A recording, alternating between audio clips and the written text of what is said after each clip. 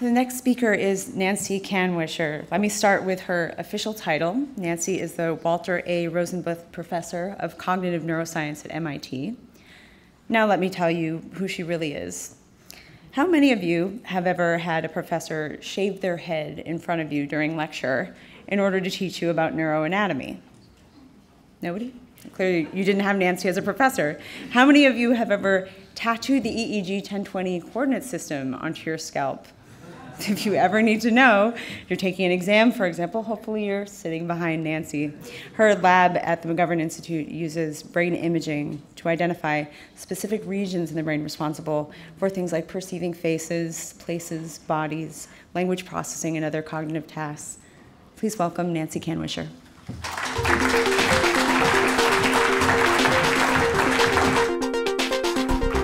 Hi there. It's great fun to be here. Thanks so much for that introduction. Um, so uh, I don't have an awesome invention that's going to cure disease to pitch to you guys, but I have some cool data. So let's do that. Um, so uh, I can't see what you guys are seeing. Okay, there we go. Um, I want to start by pointing out that um, our field of human cognitive neuroscience has made huge progress in the last few decades. To get a feel for that, let me show you approximately what we knew as recently as 1990 we knew the very approx approximate location of brain regions engaged in recognizing faces, processing language, and attending to things from the study of patients with brain damage, more or less that. And that was pretty much it. But then functional MRI came along, and here's where we are today.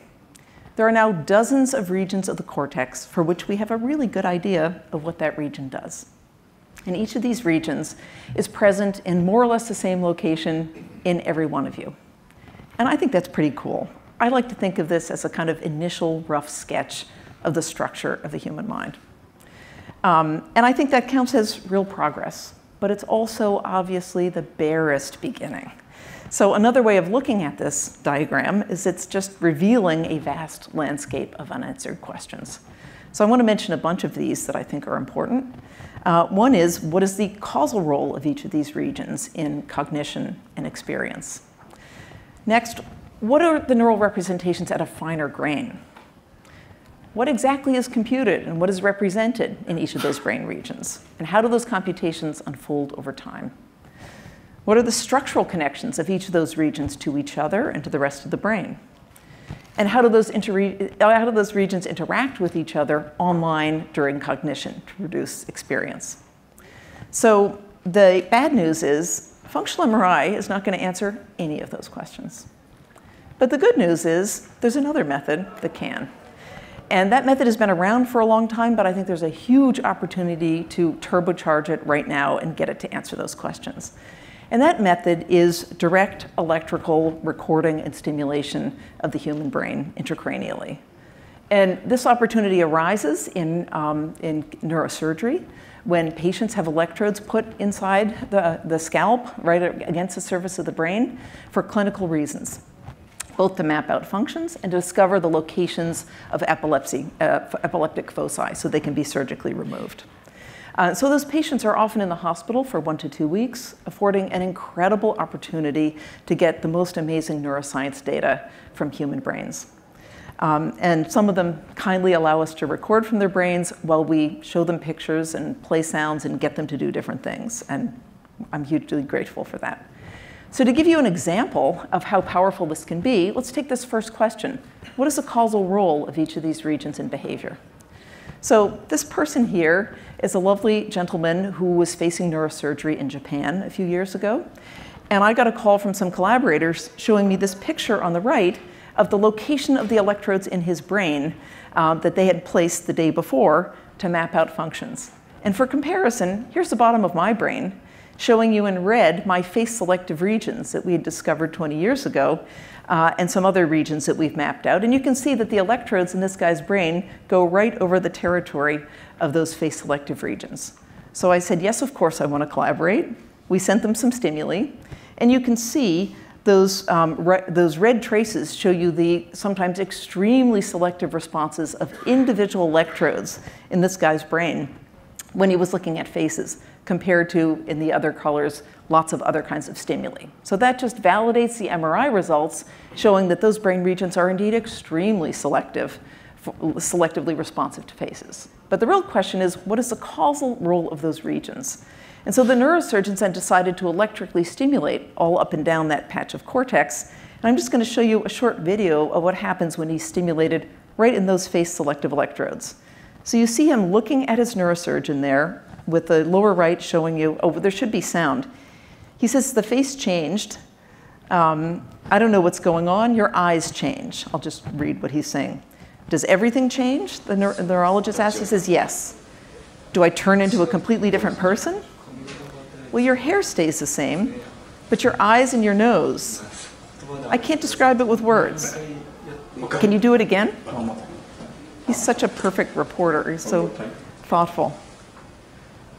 Remember, he doesn't know there's a face selective region. He has no idea where he's being stimulated, but there you can see him being stimulated again as he looks at his neurologist's face. And he says, just this area of your face. Your face turns into a cartoon character, an anime.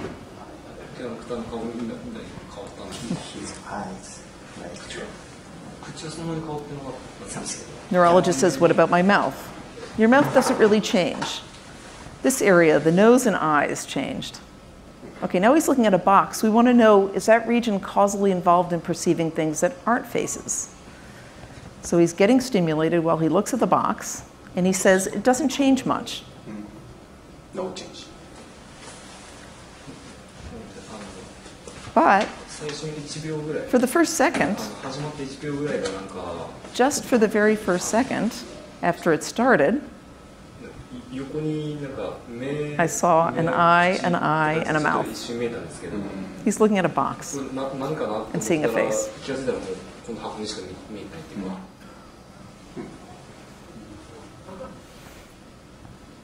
How do I explain this? Just like the previous one.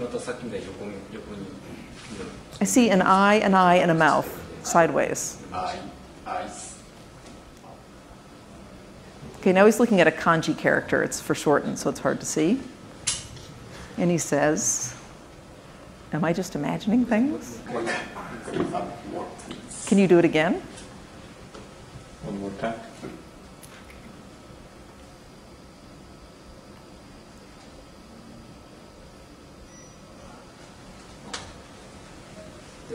Okay, just as I thought, I see a face. Around here, an eye, an eye, and a mouth. So, the point of this um, is that we can learn an enormous amount from human intracranial data. And my slides have disappeared, but that's okay. I know what I wanted to say. Um, so, that's an answer to this question um, of what is the causal role of that region. Answer it, the causal role is extremely specific to perceiving faces per se. Um, oh, good. Um, so, what about all these other questions? Um, I'm just going to show you a teeny bit of data that addressing some of these other questions of what exactly is represented neurally in particular regions and how do those representations unfold over time.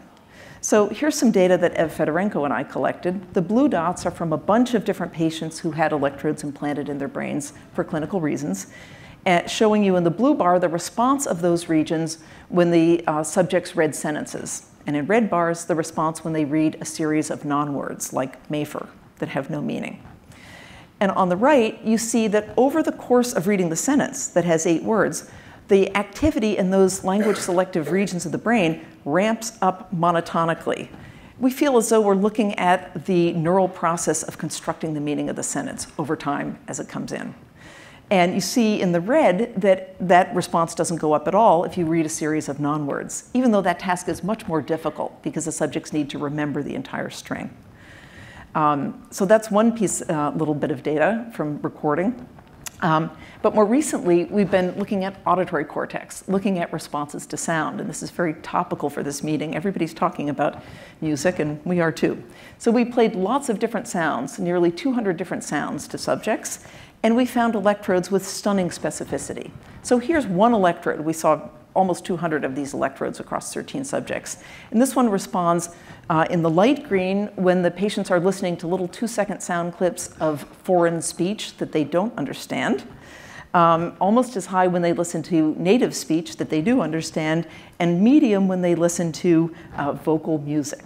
Okay, and so this is a speech selective electrode. It's not language, it's not about the meaning of uh, sentences, it's about the sounds of speech. Okay, and that's been seen by other people, but it's kind of cool to see, and you can watch its time course.